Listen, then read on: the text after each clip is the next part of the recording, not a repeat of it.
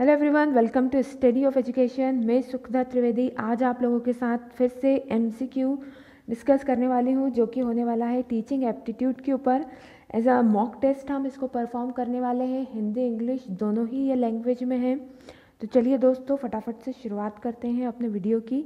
देखिए क्वेश्चंस आएँगे आपके सामने वन बाय वन वीडियो को पॉज करके जो है आप खुद क्वेश्चंस को अटैम्प्ट करने की कोशिश कीजिए। चलिए।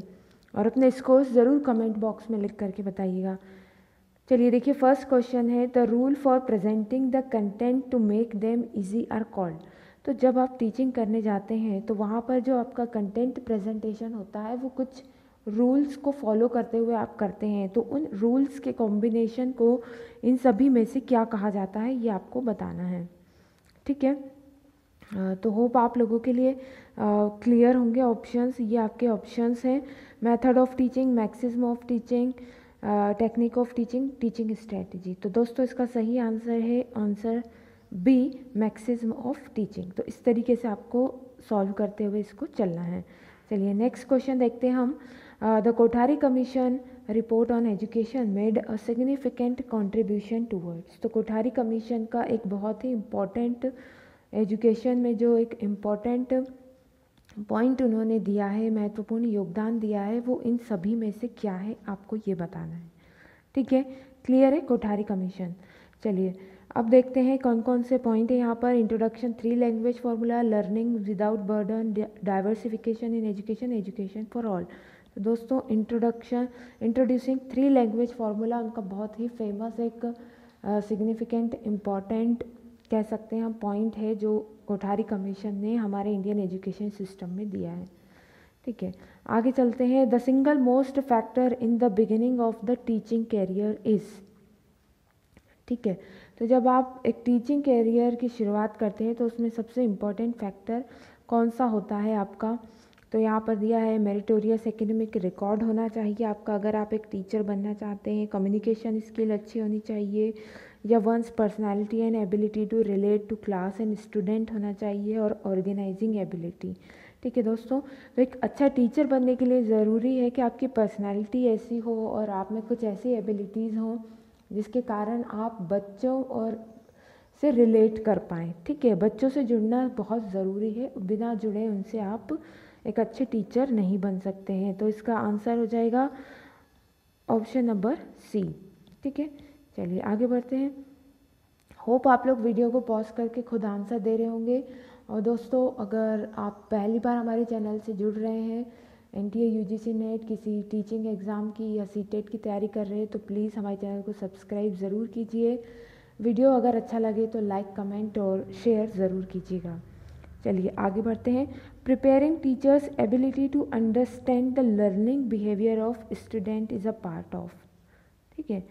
तो टीचरों की एबिलिटी को प्रिपेयर करना या छात्रों के सीखने के व्यवहार को समझने के लिए शिक्षकों की क्षमता तैयार करना मतलब कि आप अगर एक बच्चे को समझना चाहते हैं, उसके बिहेवियर को समझना चाहते हैं तो टीचर को इनमें से कुछ चीज़ें समझनी पड़ेंगी। तो वो क्या चीज़ है जो एक टीचर को बच्चे को समझने के लिए पहले समझनी पड़ेगी? ठीक है क्लियर है? मतलब इनमें से क्या आप पढ़ेंगे तो आप बच्चे की अंडरस्टैंडिंग बच्चा कैसा सोचता है, कैसे सीखता है, कैसे पढ़ता है, ये सब आप समझ जाएँगे। ठीक है?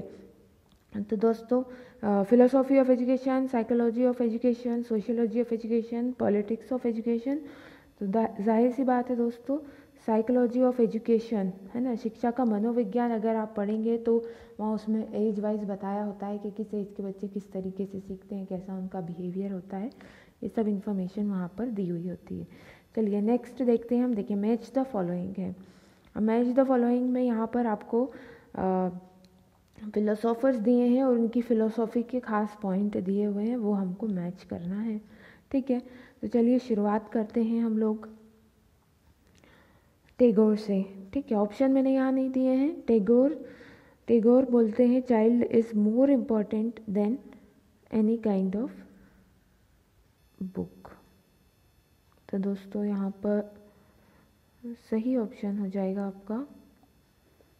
टेगोर का हो जाएगा child is more important Vivekananda, जैसा कि आप जानते हैं, Vivekananda is talk about yoga तो बी का हो जाएगा ये fourth Vivekananda talk about yoga Mahatma Gandhi Mahatma Gandhi बात करते हैं हारमोनियस डेवलपमेंट ऑफ़ पर्सनैलिटी की एंड बुद्धा बुद्धा जो है डॉक्ट्रिन ऑफ़ कर्मा दी है उन्होंने धर्मा नहीं डॉक्ट्रिन ऑफ़ कर्मा ठीक है तो इस तरीके से आप इसको मैच कर सकते हैं तो टेगोर ने क्या बात की है child is more important than all kind of books Vivekananda बात करते हैं yoga is a method of education and Mahatma Gandhi harmonious development of personality and Buddha doctrine of karma hope दोस्तों क्वेश्चंस आप लोगों को पसंद आ रहे होंगे, आप लोगों के लिए हेल्पफुल रहे होंगे क्वेश्चंस चलिए नेक्स्ट देखते हैं।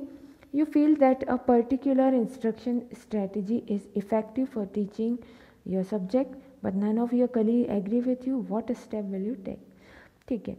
तो आपको लगता है कि किसी पर्टिकुलर सब्जेक्ट को पढ़ाने के लिए, एक पर्टिकुलर टीचिंग स्ट्रेटजी ज़्यादा इफ़ेक्टिव है या आपने आपकी, आपके एक्सपीरियंस में महसूस किया है? पर आपके कलीग जो है, आपके साथी जो है, इस पर एग्री नहीं करते हैं तो आप इनमें से क्या कदम उठाएँगे? ठीक है। तो look for the theoretical jurisdiction of the strategy strategy from the book on the instruction आप ये करेंगे leave them to do as they do like उन्हें उनके हाल पे छोड़ देंगे, वो करना चाहें, इस स्ट्रेटजी को अपनाना चाहें तो ठीक है, नहीं तो कोई बात नहीं। Give up your strategy as it is not accepted to other आप छोड़ देंगे उस स्ट्रेटजी को क्योंकि कोई उसकी तरफ़ ध्यान नहीं दे रहा है। With the cooperation of your colleague design action research to validate your choice of method या आप अपने कलीग के साथ मिलकर के एक एक्शन रिसर्च करेंगे, एक एक्सपेरिमेंट करेंगे, जिससे आपको समझ में आ सके कि हाँ भाई आपकी ये चॉइस अच्छी है या नहीं। तो दोस्तों, इसका सही ऑप्शन हो जाएगा क्या? Option number D that with cooperation of your colleague design action research to validate your choice of method चलिए नेक्स्ट है most expected immediate outcome of teaching is तो अगर आप टीचिंग करते हैं तो सबसे अपेक्षित परिणाम उसका क्या होगा? मोस्ट एक्सपेक्टेड आउटकम क्या आउटकम निकल करके, क्या रिज़ल्ट निकल करके आता है जब आप टीचिंग करते हैं तो? होप आप लोगों ने ऑप्शंस देख लिए होंगे। मैं डायरेक्ट आंसर बताने जा रही हूँ आप लोगों को। That is the change in the behaviour of student in the desirable direction ठीक है, चलिए आगे बढ़ते हैं। नेक्स्ट क्वेश्चन है which of the following statement is not correct इनमें से कौन सा करेक्ट नहीं है? ठीक है तो देखिए दोस्तों, यहाँ पर हम पढ़ते चलते हैं। A good communicator has command over a language तो ये तो सही बात हो गई, है ना?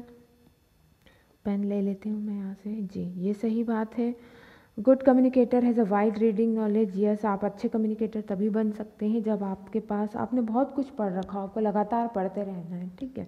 A good communicator has a good sense of humour हाँ ये भी होता है, अधिकतर होता है ये। And a good communicator can not be a good teacher तो क्या करेक्ट नहीं है आपसे पूछा है? तो दोस्तों ऑप्शन नंबर ए करेक्ट नहीं है। मतलब कि आपका सही ऑप्शन क्या हो जाएगा? ऑप्शन नंबर ए चलिए नेक्स्ट चलते हैं।